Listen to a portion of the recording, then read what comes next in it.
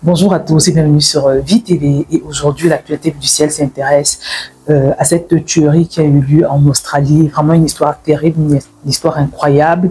Un, homme, euh, voilà, dont on dit qu'il était mentalement déséquilibré, a décidé comme ça de, de, de tuer des personnes. Personne euh, ne connaît les, motifs pour lesquels il a agi, mais toujours est-il qu'il a tué, je pense, six personnes, voilà, des personnes qu'il a sélectionnées au hasard.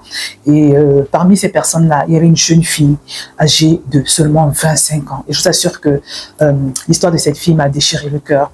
Une jeune fille de 25 ans, c'est la fille d'un riche millionnaire australien qui était fiancé et qui était venu dans le centre commercial simplement pour acheter sa robe de mariée pour essayer ou acheter quelque chose comme ça. Bref, mais elle était heureuse, elle était resplendissante, elle était à la fin de ses études, elle était insouciante, voilà. Et euh, elle était en plein dans les préparatifs de son mariage, je vous assure.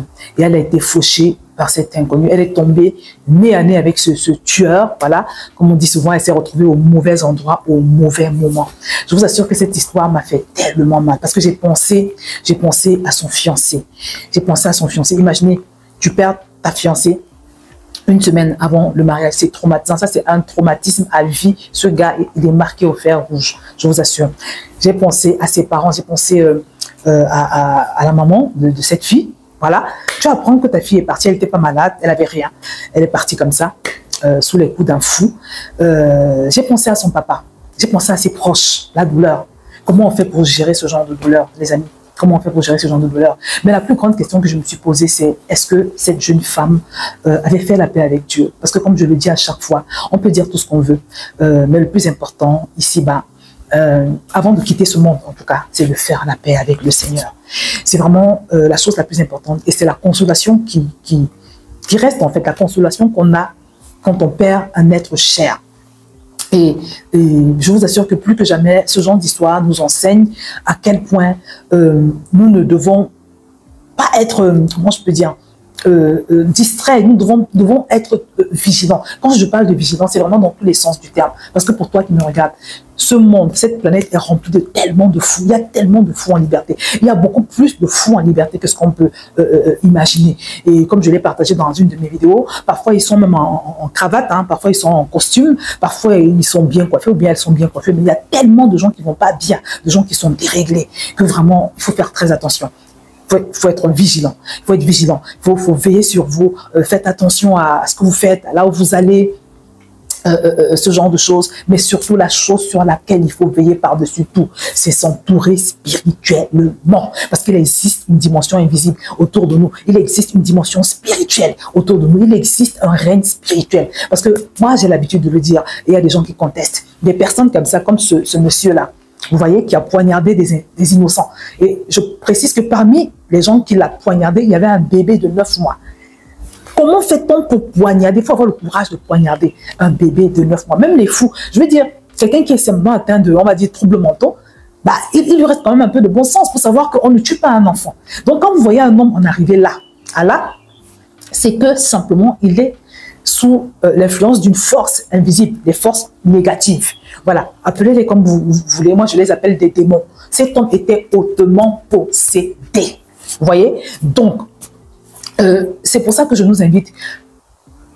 Il faut toujours, euh, avant de sortir, prendre le temps de prier, prendre le temps de, voilà, recommander ce qu'on va faire entre les mains de Dieu. il y a un passage dans la Bible qui dit que l'ange de l'Éternel campe autour de celui qui le craint et ne lui arrive aucun malheur. Il n'y a que Dieu qui peut te préserver de ce genre de choses. Il n'y a que Dieu qui peut te vraiment, c'est-à-dire que tu avais l'intention d'aller dans ce, cet endroit-là où le, meurtrier va se retrouver, mais comme par hasard, mais en général, c'est pas le hasard. Quand tu as prié avant de sortir, tu vas te sentir poussé à aller ailleurs, en fait. Parce que autant il existe une force du mal qui peut s'emparer des gens et ces gens se retrouvent à, tuer les autres, autant il existe une force du bien, d'accord, qui peut également te pousser, te conduire à faire les bons choix, te protéger, tu vois. Et c'est dans ce sens que je dis que euh, dans le monde où nous sommes, puisque tout est incertain, il est indispensable vraiment de s'appuyer sur la force du bien, la force du bien qui est Dieu, la force du bien qui est notre créateur. Et c'est pour ça que c'est important euh, euh, vraiment de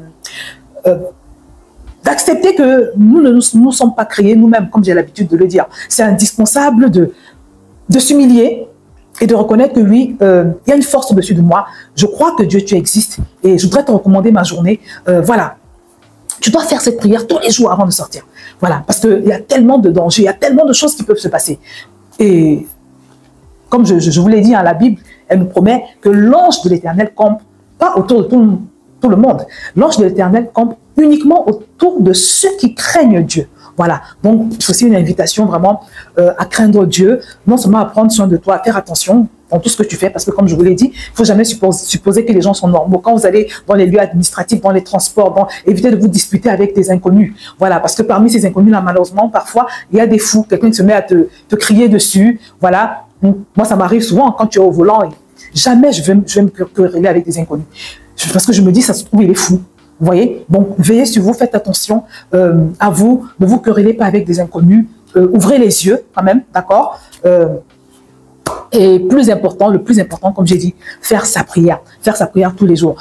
cultiver la crainte de Dieu, cultiver quand même un peu de révérence pour cette force positive qui agit au-dessus de nous. Parce que ce n'est que de cette manière, une fois de plus, je leur dis, que nous allons pouvoir avoir un peu de protection, que nous allons pouvoir avoir un peu de grâce vous voyez, c'est très important ce que je vous dis. Et si tu, n'as jamais prié, tu regardes cette vidéo, tu n'as jamais prié, je vais t'inviter euh, à cliquer sur le lien que je vais te mettre en bas de cette vidéo, d'accord? C'est un article qui contient une prière que j'ai faite il y a cela plusieurs années qui m'a permis de me réconcilier avec Dieu.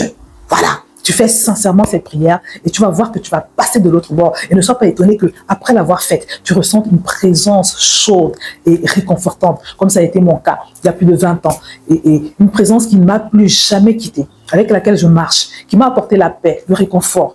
Voilà. Alors que j'étais en proie à toutes sortes d'angoisses. Voilà. Donc, fais cette prière sincèrement. Je t'ai mis le lien en bas.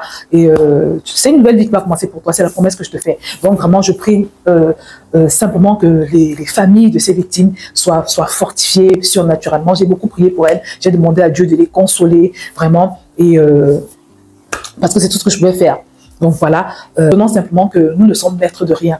Nous ne maîtrisons rien. Il y a un passage de la Bible qui dit euh, pour toi qui dis demain je vais faire ci, demain je vais faire ça. En fait, tu sais même pas ce qui va se passer demain. Demain n'est qu'une espérance. Toi et moi, nous ne savons pas si nous allons nous réveiller demain. Nous ne maîtrisons rien. Je pense que la raison pour laquelle parfois Dieu permet ce genre d'incident, c'est pour nous euh, permettre de, réaliser notre euh, faiblesse en fait. pour nous permettre de réaliser à quel point nous sommes limités, à quel point nous ne maîtrisons rien et à quel point nous ne pouvons pas nous permettre de l'ignorer. Nous ne pouvons pas nous permettre vraiment euh, euh, de ne pas tenir compte de lui. Nous ne pouvons pas nous permettre de, de, ne pas rechercher sa protection. Voilà, c'est tellement important. Tirons des enseignements. Tirons des enseignements. Vraiment, arrêtons d'être indifférents vis-à-vis de Dieu. Voilà.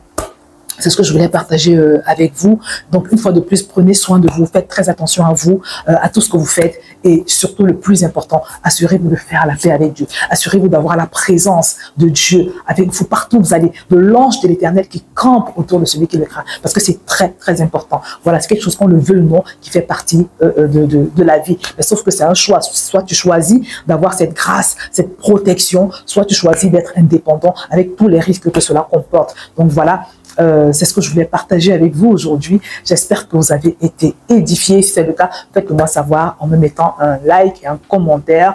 Et bien évidemment en partageant cette vidéo parce que je pense que ça peut aider quelqu'un également. Euh, si vous n'êtes pas abonné également, je vous invite vivement à vous abonner à cette chaîne. Donc voilà, je vais m'arrêter là et je vous dis à très bientôt sur cette chaîne.